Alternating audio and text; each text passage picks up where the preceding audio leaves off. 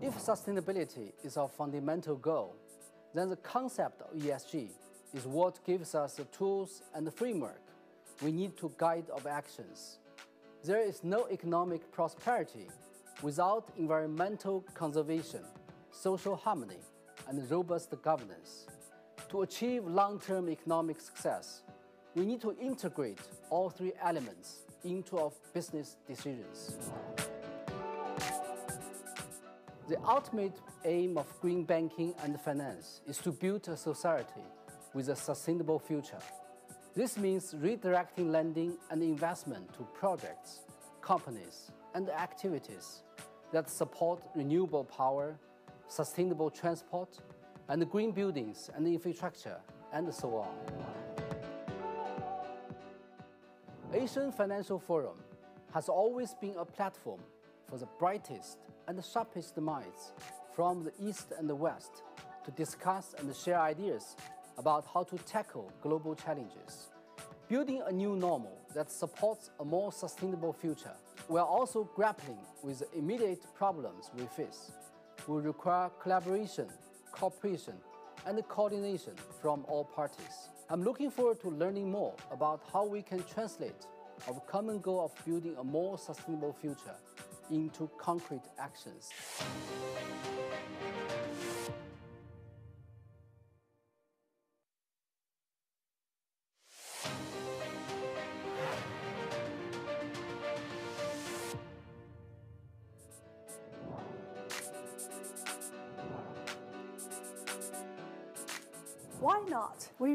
The planet from our children and also our grandchildren, and we have to return it in a better condition, so we can make a difference while sustainable investing.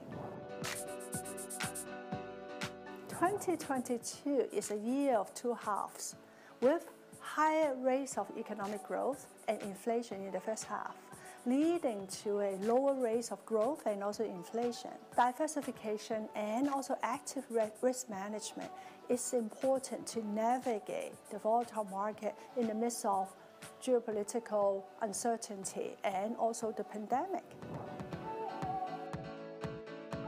After two years of pandemic, we will see the normal rates of economic growth and also the inflation.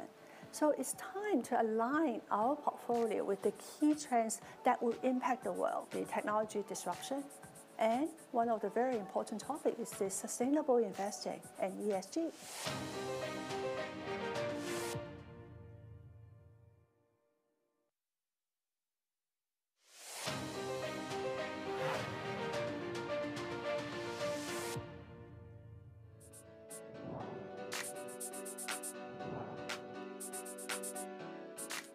In the trying year of 2020, Hong Kong's financial services managed to record a 2.9% growth in terms of value adding and 7.5% of total population. Looking forward, I'm sure that in 2022, the Year of the Tiger, Hong Kong's financial services will continue to be a blessed land for crouching tigers and hidden dragons to thrive and prosper.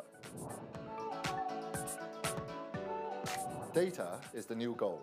A lot of progress has been made in fostering free flows of people, goods, and capital. The next topic to consider for financial services in the GBA is to capture the strategic value of enhanced data free flow across boundaries. With tremendous efforts and progress seen in the past few years, I look forward to learning more from the distinguished speakers and guests about how we can take this one step further to contribute to the global effort towards a better, greener future.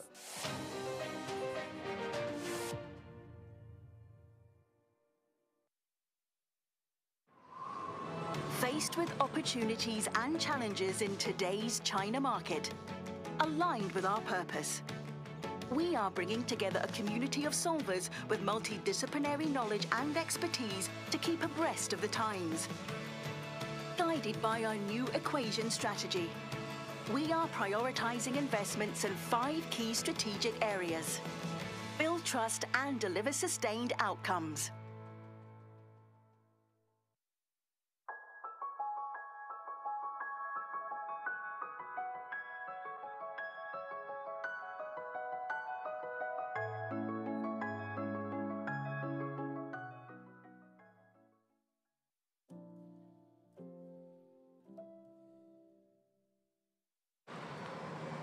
我哋都知道世界面對緊嘅問題，每日都有數以百萬計嘅聲音話俾我哋知，我哋係時候要採取行動。我哋需要一個計劃，一個嶄新想法，為人類帶嚟可持續發展嘅未來。我哋需要一個愛護地球嘅商業計劃去解決問題。匯豐承諾投入七千五百億至一萬億美元，喺未來九年推動企業實踐綠色轉型。並支持全球客戶同佢哋嘅業務伙伴發展低碳經濟。匯豐嘅目標係喺二零三零年前，無論營運同供應鏈方面都達到零碳排放，並幫助所有客戶喺二零五零年前實現相同目標。喺香港，匯豐嘅專業團隊透過綠色融資方案，一直協助唔同嘅企業實踐綠色營商計劃。我哋亦全力策動匯豐探索潔淨水域計劃，以四艘太陽能小船投入清理海洋塑膠垃圾。我哋相信企業可以攜手一齊解決地球問題，加入我哋開展綠色營商計劃，一起從商愛地球。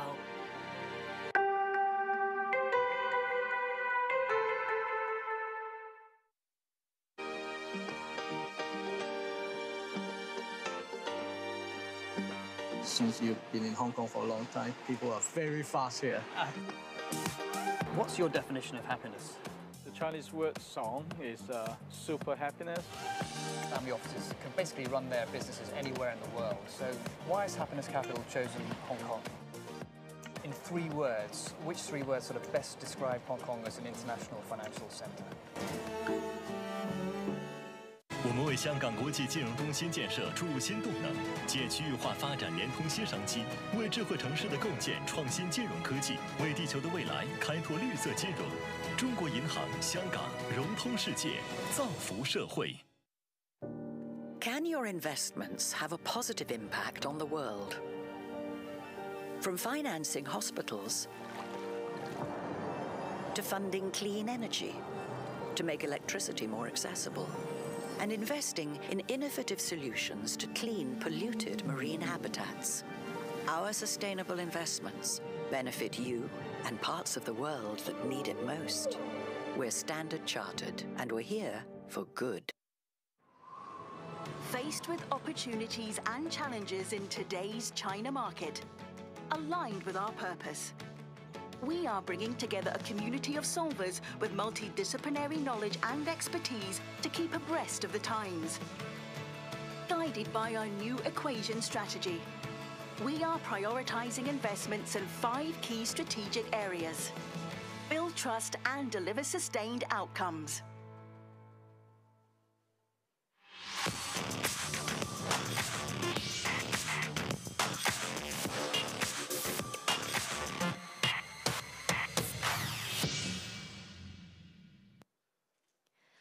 Welcome to the session Dialogue with Ju Weimin.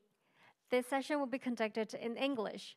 If you require simultaneous interpretation, please choose your preferred language by clicking the headset icon on top of the video screen. Mr. Ju Weimin is the Vice Chairman, President, and CIO of China Investment Corporation. We're delighted to have invited Ms. Han Yi Lin, Chief Correspondent in Hong Kong, Yicai TV, to moderate the session. Without further ado, I'll now pass the time to Lin. Good afternoon. Welcome to the session and welcome to AFF 2022. I'm Hang Yu, Chief Correspondent in Hong Kong with Yicai Media Group. This pandemic has changed everyone's life in all aspects and made us more aware of the importance of sustainable development.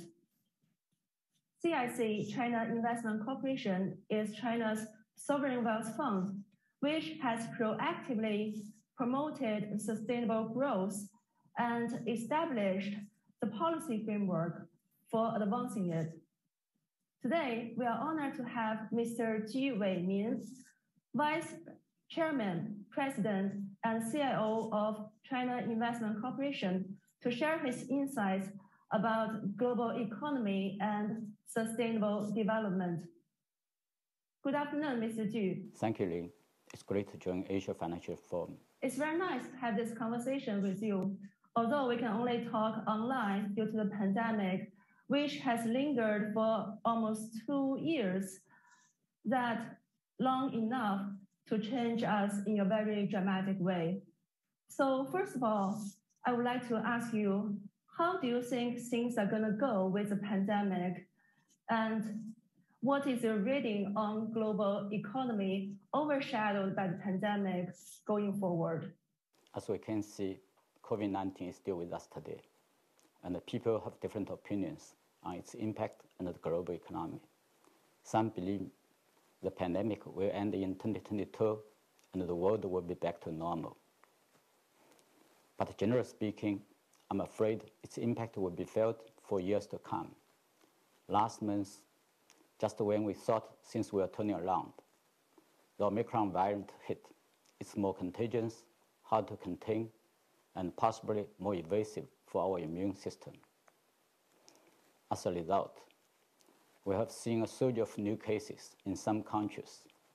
The UK, France, and Italy all broken their single-day records. The US is also approaching its historical peak. So even if the proportion of severe cases may have come down, as a news reporter said, once the number of infections reach a critical mass, the virus would still greatly strain each country's medical resources. A long-term solution depends on effective vaccines and drugs. Governments and scientists around the world are making good progress here, but the availability and fair distribution still cause concerns. I think the duration and the persistence of the impact remains uncertain. Despite this, global economy was stronger than expected in 2021. In the first half of the year, we saw a quick rebound of major economies and the world as a whole. The US, UK, and other developed countries even achieved a double-digit growth a momentum that continued through the second half of 2021. As a result of labor shortage, supply chain bottlenecks, and rising energy prices, we are seeing a significant change in global inflation.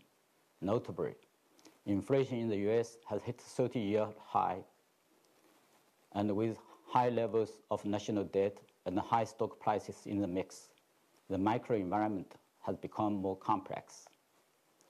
The third downside factor is the widening gap between the emerging and the developing regions. In particular, major economies may readily adjust their macroeconomic policies. The US Fed will start to raise interest rates in 2022, and the ECB has already hinted at slowing down its bond buying program. Historically, Fed's interest rates hike would likely trigger capital outflow and depreciation in the emerging market which would destabilize the international market.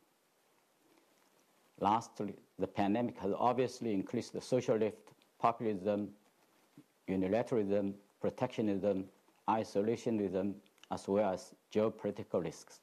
As you have mentioned, global economy is showing signs of increased divergence, imbalance, and instability. Under such circumstances, the international community is more focused on sustainable recovery.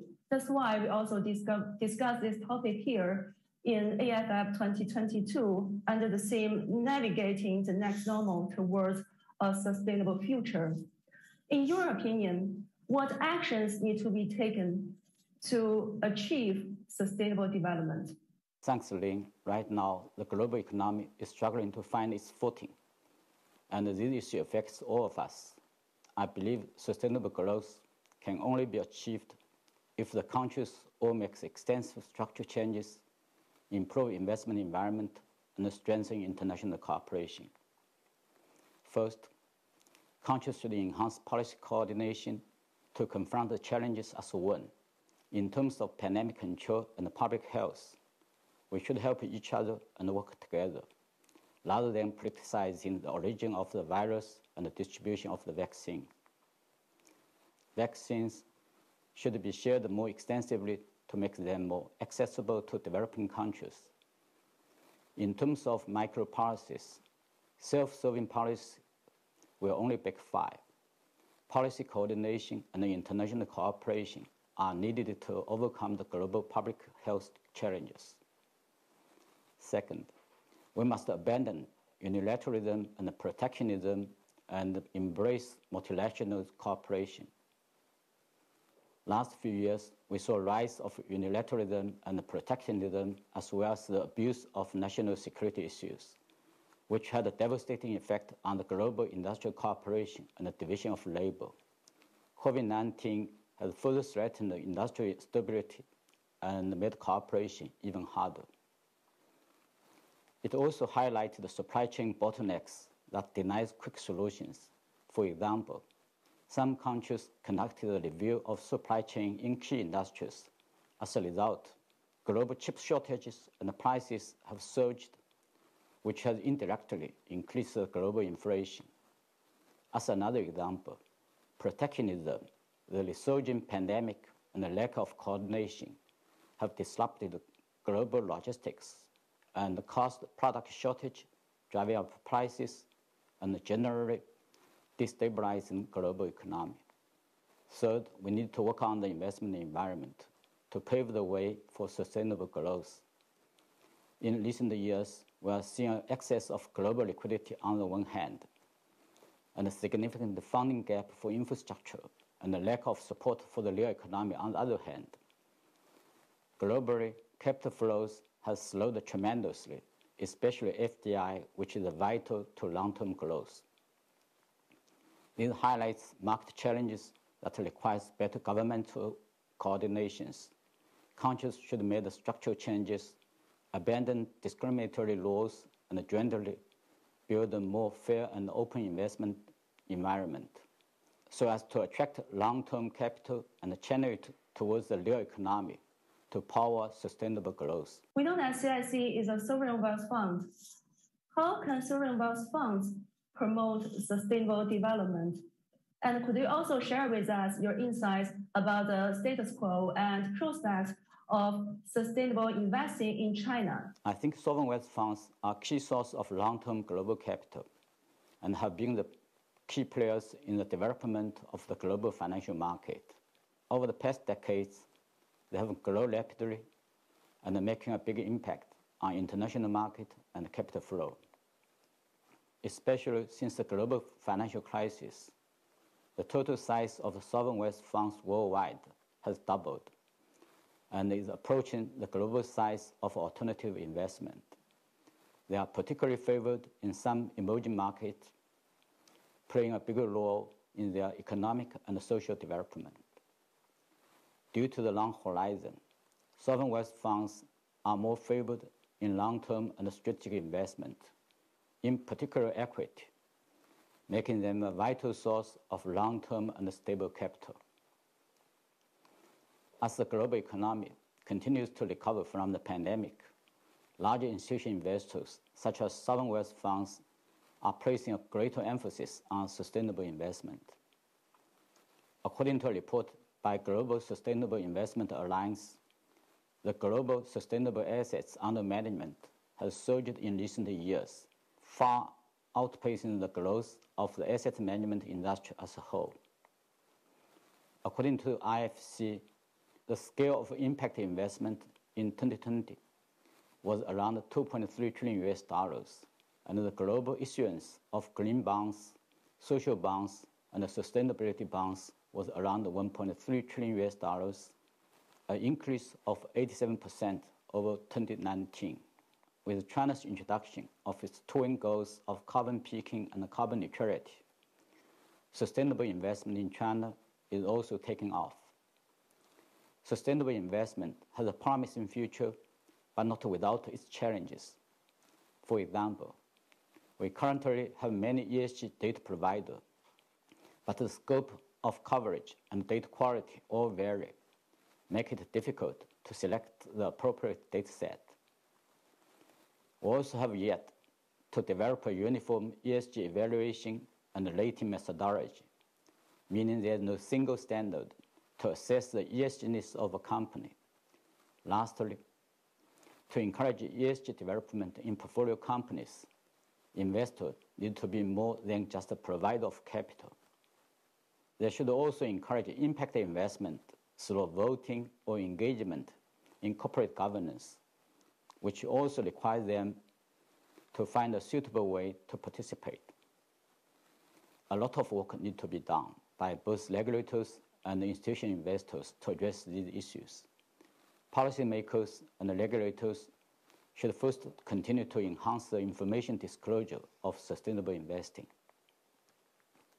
At present, information on sustainable investment is mainly disclosed on voluntary basis. The information serves only as self-proclaimed label of sustainable investing with no numbers disclosed the well-established standards. Over the past two years, green awareness is rising in China with relentless efforts made on realizing the twin goals of carbon peaking and carbon neutrality. China has become a pioneer in terms of some green policies. Several months ago, People's Bank of China released China's first guidelines on green finance, including the guidelines on environmental information disclosure for financial institutions and the environment equity financing tools. These guidelines, including the principles, format, and the requirement for information disclosure on sustainable investing. Going forward, we hope that the PBOC will continue to refine the guidelines in light of their implementation so as to build a quality information disclosure system that will act as a comprehensive, coherent, and comparable measure of sustainable investing, as well as to provide sound standard for guiding and regulating information disclosure on sustainable investing. Second, policymakers should enhance top-down policy guidance. The assortment of ESG rating system adopted by regulators and ESG rating agencies, combined with a lack of appraisal systems, does not provide enough incentives to investors. We hope that regulators can enhance policy coordinations to create uniform rating standards and incentive mechanisms, such as policy guidance will increase market share of sustainable investment and boost its healthy development. Institutional investors should do more on ESG investment, especially in green and low carbon investment, minding the timeliness of investment and guarding against the risk amid green transformation. This will help form a pattern where investment and the real economy are mutually reinforcing so as to promote sustainable economic development. Yes. Thank you, Mr. Ju. Could you also share with us what's the plan of CIC in terms of sustainable development and what plans will it make in the future? Sure. Thanks, Lin. I'm happy to share with you CIC's relevant practice. Since its establishment, CIC has consistently positioned itself as a responsible investor and proactively contributed to sustainable growth worldwide. In recent years, we have monitored the trends in sustainable investing, extensively exchanged views with relevant institutions, and established the policy framework and the phase one plan for advancing it. Based on peers' approach and our own practice, we have formulated and released the Sustainable Investment Policy in 2021, which shows our determination to promote sustainable development.